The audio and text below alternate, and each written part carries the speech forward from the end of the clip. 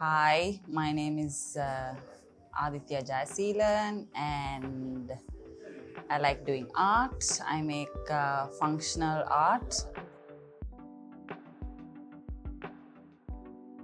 The biggest aha moment of the residency was to actually talk to everyone, see how their perspective is, and to feel so relatable and to kind of, I wouldn't say fit in, but have conversations where people actually know what I'm talking about or, you know, listen to their new perspectives and kind of hear, you know, their views and ways of life and you know the way we had conversations with the entire community and the chance that we got to go you know spend some time in so many places and you know have like a whole bond with them and for them to be open and um, you know open to change and growth and how they are so motivated and to see different kinds of people.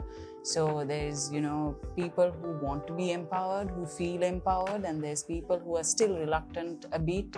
So you can see all those differences and you can see different kinds of people.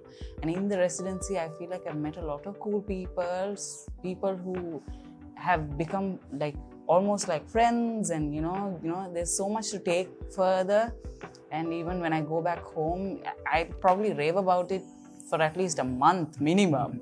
And i have so many things in my head that i want to create content out of like in terms of you know how the residency was and you know the kind of people i met the kind of work that you all do the interesting conversations. And i love sketching so a memory sketch of sorts and you know an illustration of everyone together or you know just a dinner table chat or you know just just us going around the entire place. So one of the major conversations for me was when i spoke to um, idea?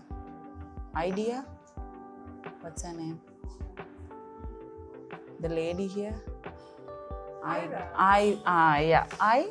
Ira. ira okay so the conversation with her was overwhelming for me, to be very honest. After that 45 minutes or one hour, when she teared up, I could feel it.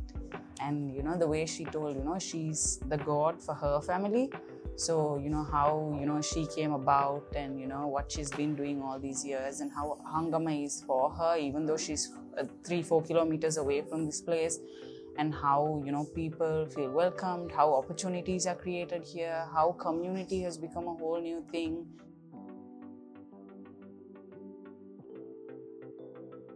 I don't know if it's the greatest achievement, but I'm definitely proud of a certain few things. So I got to really ground myself and humble myself through the entire process, like from where I was, you know, instead of, oh, I'm the girl who paints and creates art really cool.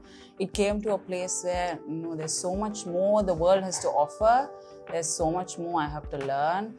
And the kind of humbling and the grounding is, I feel like, extremely special for me and to work with different kind of communities. I've kind of worked with different labeled artists and how they think how they create and how they talk about it how they express about it and also to take pride in saying that i am at a place where i'm very happy with the kind of work that i do with the kind of because uh, i feel like i heal through my art and when it is relatable to someone else that's like a completely you know it's a, it's it's magic.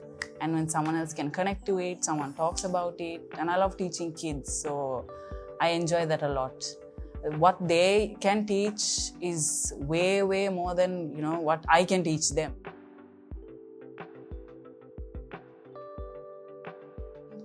So the one thing I would like to take and apply, or many things that I would like to take and apply, is be way open, be open to more conversations, be open to more the learning, be open to community. Because back at home, which is Colombo, I don't feel like, you know, we thrive like this. This is a completely new way of, you know, not a new way, probably the ancient most way of living.